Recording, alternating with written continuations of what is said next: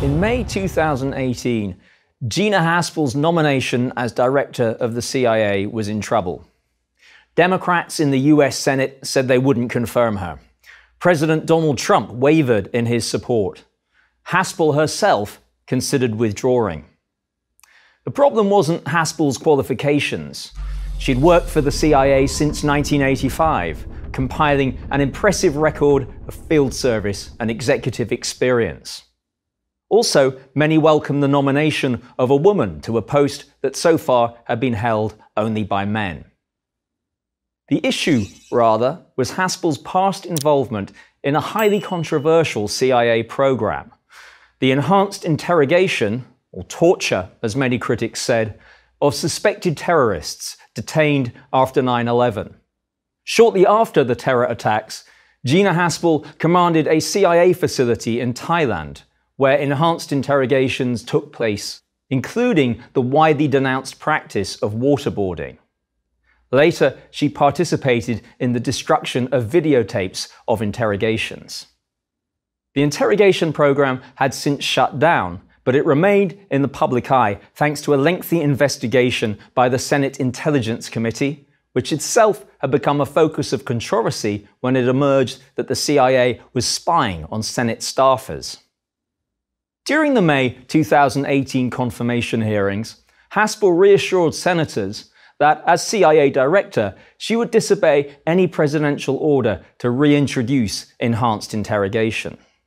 But she resisted being drawn into denouncing the earlier program as immoral, and she refused to accept the Senate Intelligence Committee's conclusion that the interrogations had failed to produce any useful intelligence.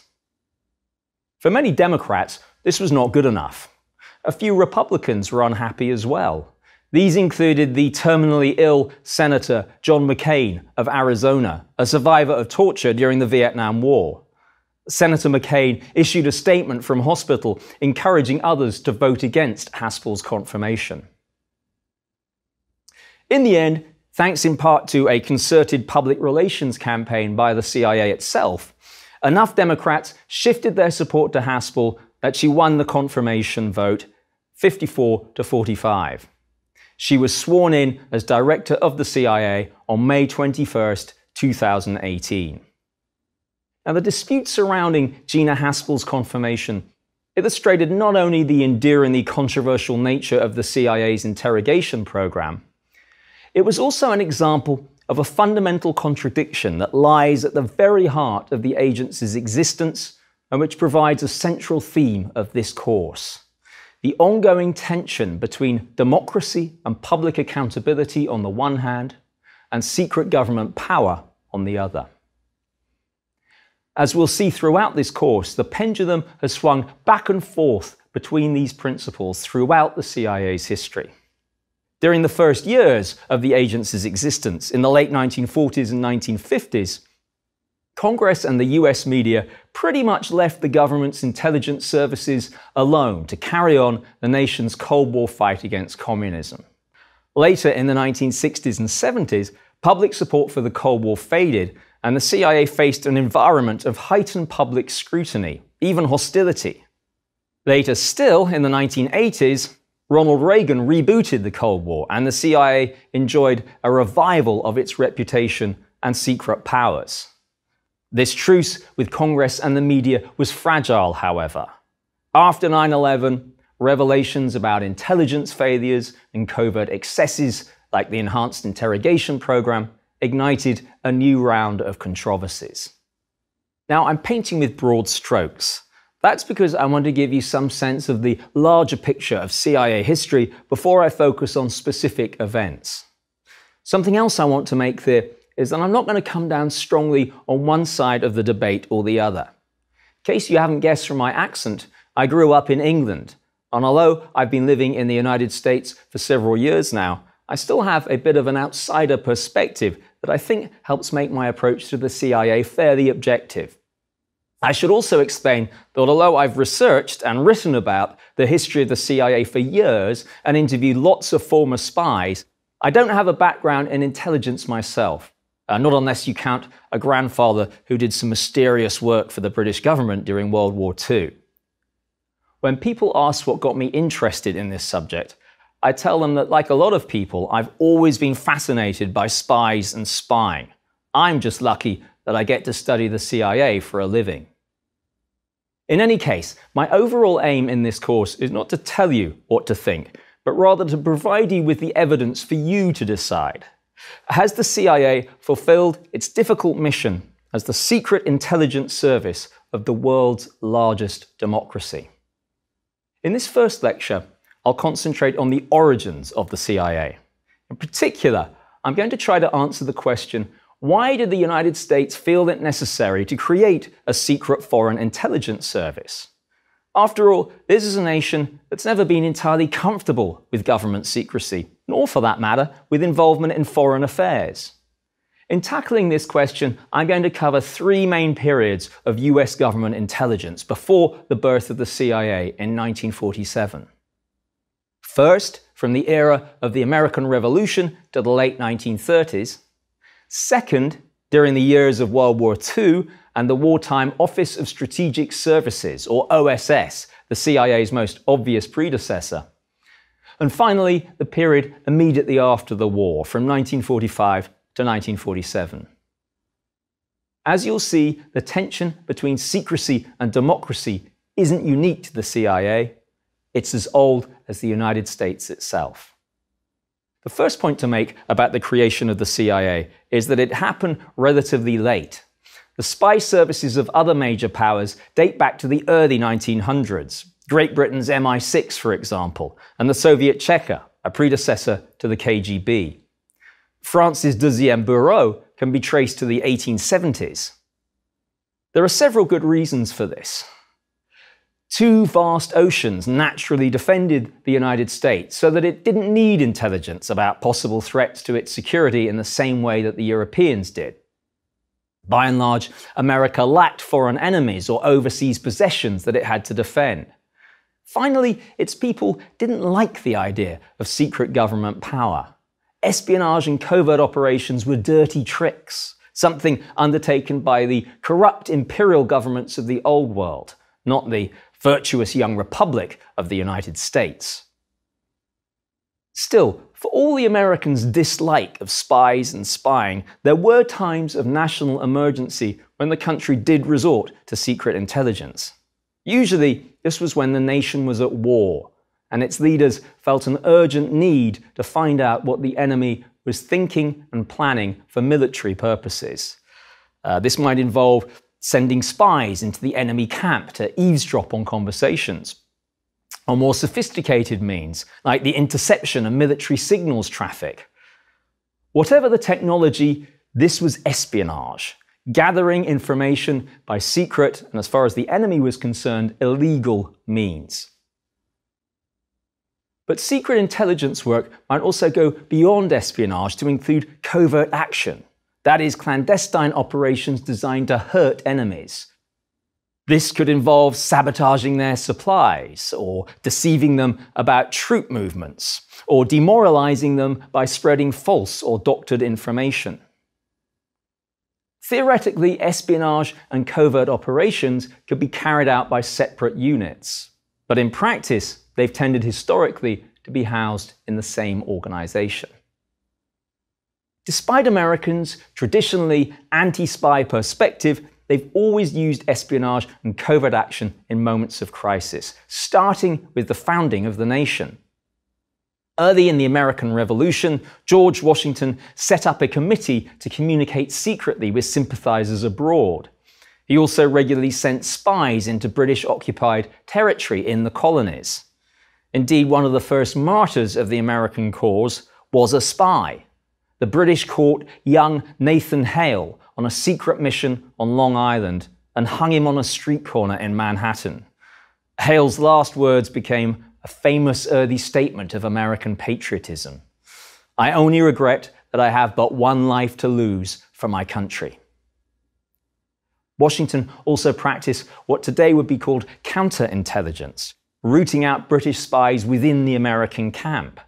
Benjamin Tallmadge, uh, head of the Culper spy ring in New York, helped to catch the notorious American traitor Benedict Arnold.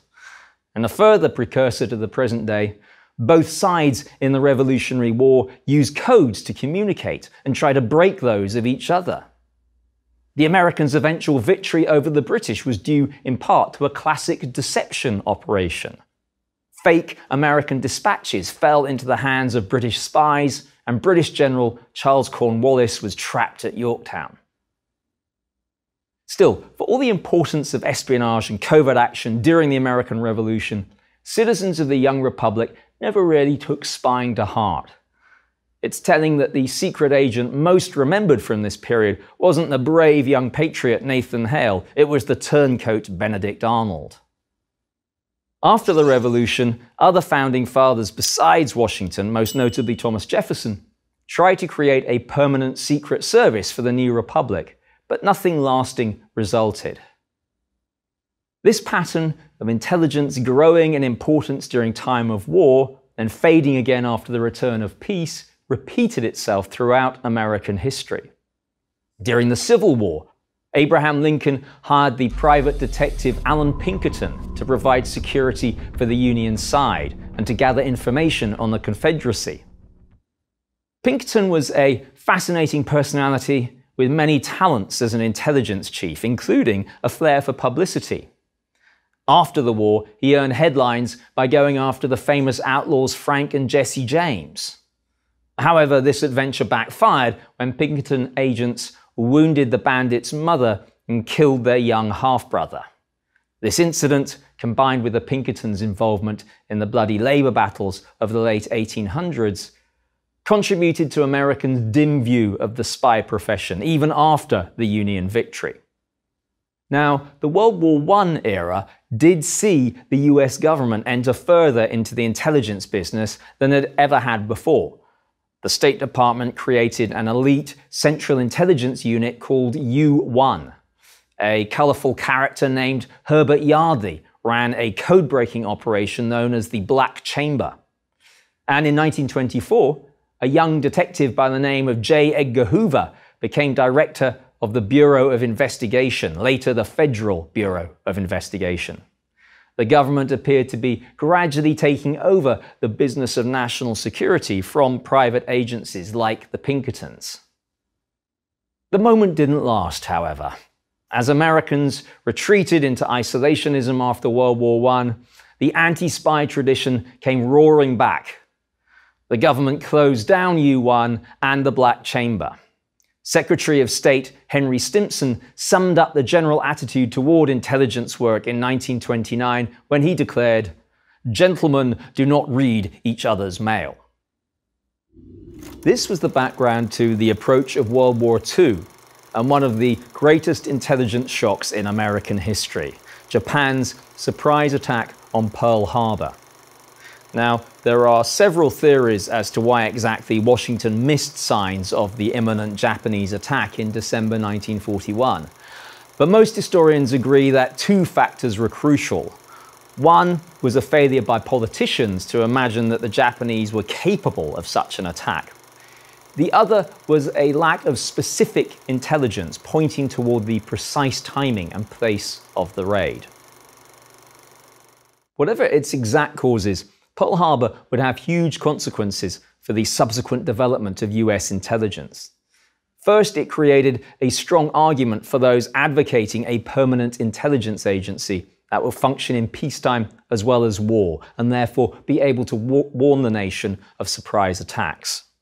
Of course, the downside of this would be that if there were another surprise attack, as in September 2001, the Permanent Intelligence Agency would get the blame. Second, and more immediately, Pearl Harbor brought the United States into World War II, and in doing so, it dealt a huge blow to the isolationist anti spy habits of mind that had previously slowed the growth of American intelligence. We now enter the second phase of US intelligence history, that of the Office of Strategic Services, or OSS. If any single individual could be called the father of the CIA, it's William Wild Bill Donovan. Who was Bill Donovan? Well, unlike many of his contemporaries in the intelligence world, Donovan was not upper class by birth. But he was handsome, brave, and, well, fortunate. Born in 1883 to Irish immigrant parents in Buffalo, New York, Donovan studied hard and earned a place at Columbia University. There, he won a prize for oratory, starred as quarterback on the football field, and befriended future President Franklin Roosevelt. Upon graduation, Donovan practiced corporate law, and he served heroically in France during World War I, earning several wounds and a croix de guerre. Later, after returning to his law practice, he built up a small fortune and launched himself on a career in politics. Now, it was at this point that Donovan's luck seemed to desert him. A bid for the New York governorship in 1932 fizzled out, and he drifted for several years, unsure of his next step. One way he filled his time during this period was indulging a growing love of foreign adventure, especially secret adventure. His friend Franklin Roosevelt was now president, and Roosevelt sent him on a series of semi official covert missions to Europe and Asia. In 1940, FDR dispatched Donovan to London to assess Britain's chances of surviving a Nazi invasion. During his visit, Donovan had extraordinary access to British intelligence. And he began to formulate a plan for an American Secret Service modeled largely on MI6. When Donovan returned to the United States with this plan, he encountered opposition from J. Edgar Hoover, who saw it as a threat to the FBI the State Department and military intelligence units, such as the Office of Naval Intelligence and the Army's G2, also opposed the idea. But it didn't matter. The president shared Donovan's regard for the British and wanted to prepare the country for the war that was surely coming. In the summer of 1941, Roosevelt appointed Donovan the Coordinator of Information, a sort of intelligence supremo with historically unprecedented powers over the existing civilian and military agencies. After Pearl Harbor, the function was renamed the Office of Strategic Services, or OSS, and the United States had its first Central Intelligence Agency. What to say about Wild Bill Donovan's Office of Strategic Services and its wartime record? Well, there's been a lot of myth making about the OSS's contribution to the Allied war effort. In fact, the spy service was excluded from several major theatres of the conflict, including all of the Americas, which J. Edgar Hoover claimed for the FBI. The OSS also had to deal with the constant suspicion of the State Department and the military intelligence agencies. And while Donovan was an inspirational leader of the men and women under his command, he was a terrible administrator. One subordinate compared his management style to a man pouring molasses from a barrel onto the table. The OSS became involved in some ludicrous schemes. For example, a plot to drive Hitler insane with lust by showering his headquarters with pornography. But for all its organizational chaos and silly ideas, the OSS had a fine overall war record. Its Special Operations Branch ran guerrilla campaigns in occupied territory that inspired local resistance movements and distracted the enemy. These included the Jedburghs, uh, teams of American and British officers who parachuted behind German lines to help French resistance fighters cut Nazi supply lines ahead of the Normandy landings. Then there was the quiet heroism of the staff in the Washington based Research and Analysis Branch, these were intellectuals and scholars, including, I'm proud to say, many historians, who worked day and night to supply military commanders with battlefield intelligence.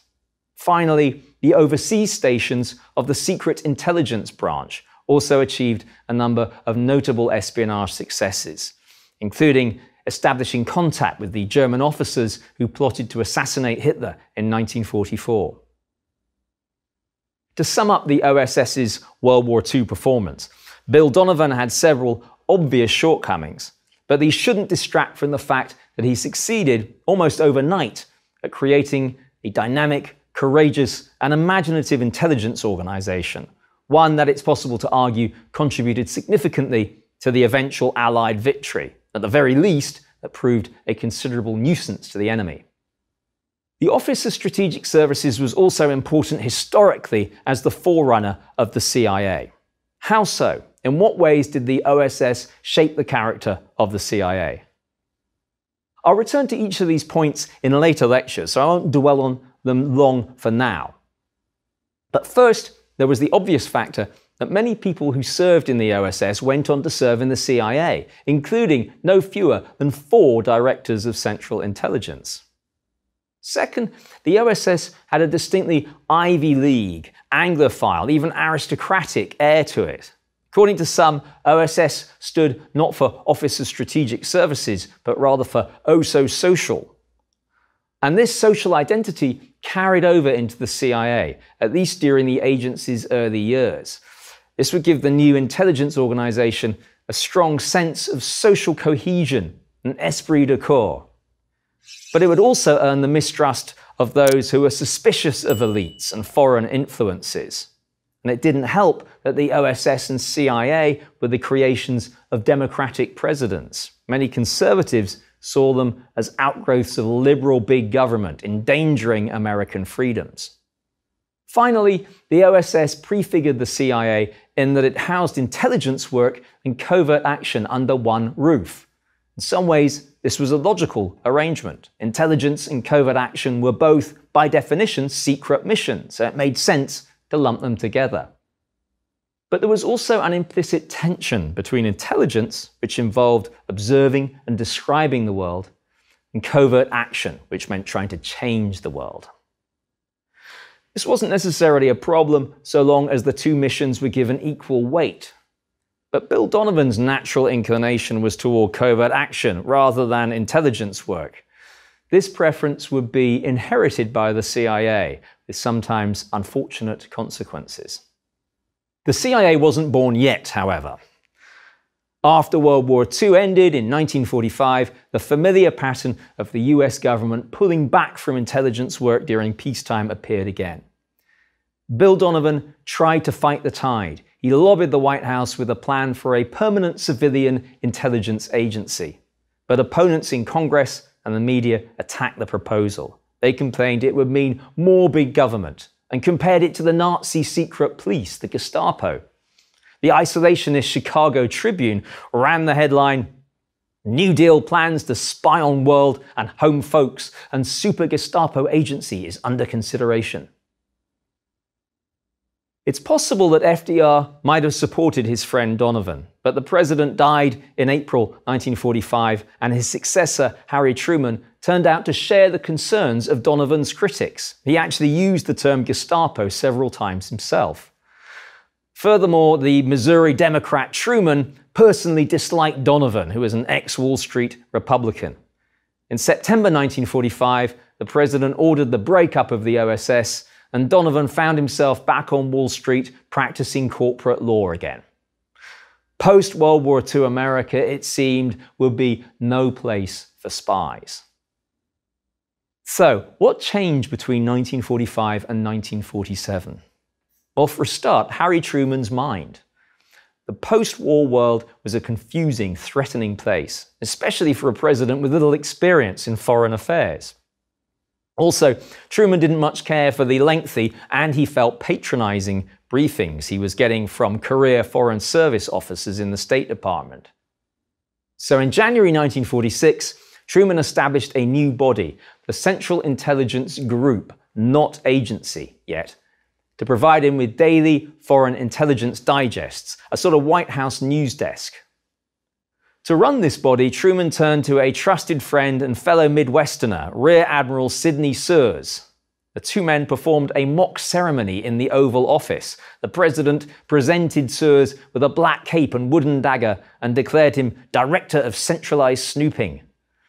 This was a big step forward, but the Central Intelligence Group still had no intelligence gathering capability of its own and no powers of covert action. Truman's timing proved just right because the international environment really began to deteriorate again in 1946. And now you get the second and main reason why the CIA was created the start of the Cold War. The two post war superpowers, the United States and Soviet Union, failed to reach an agreement on how to deal with various countries in Eastern Europe after the war. The Soviets wanted them firmly within Moscow's sphere of influence to act as a buffer zone against possible future foreign aggressors. The Americans wanted them independent, part of a new international order that implicitly favoured US interests. From this initial disagreement, superpower tensions escalated at an alarming speed. Each move by one side seemed to increase the other's feelings of insecurity. Gradually, a new pattern of conflict emerged, in which the two nations used any means short of direct military conflict to check the other. It was a Cold War rather than a hot war. Superpower tensions came to a head in 1947. In March of that year, President Truman went before Congress to announce what became known as the Truman Doctrine. This was a new foreign policy committing the United States to defending smaller nations threatened by Soviet takeover. Truman didn't explicitly mention the Soviet Union, but it's pretty clear that's what he meant. That June, Secretary of State George Marshall proposed US assistance to rebuild the war shattered economies of Western Europe. The Marshall Plan was another escalation of the Cold War. Then, in July, Truman signed the National Security Act, creating the Central Intelligence Agency and much of the modern US national security apparatus. Unlike the earlier Central Intelligence Group, the CIA had its own independent powers of intelligence gathering and the ability to perform undefined other functions and duties related to intelligence. These words would soon be interpreted to mean covert operations. Decades after the other great powers, the United States had its own permanent intelligence service at last. To sum up, the United States had a long history of espionage and covert action prior to the birth of the CIA in 1947. However, Americans also entertained a strong suspicion of international involvement and excessive government power. It wasn't until the extraordinary conditions of the 1940s, when a hot world war was swiftly followed by a cold one, that advocates of intelligence and internationalism overcame the anti spy tradition. The CIA, for roughly the first two decades of its existence, would have an unprecedented amount of operational freedom. But even during the summer of 1947, there were some who hesitated before creating a peacetime intelligence agency. One Republican congressman protested that no president should have a Gestapo of his own. An isolationist newspaper went so far as to warn about the dangers of creating a super duper Gestapo OSS cloak and dagger organization. And this fear of the government's potential to abuse its secret powers would return to haunt the CIA throughout its existence, right down to the present day.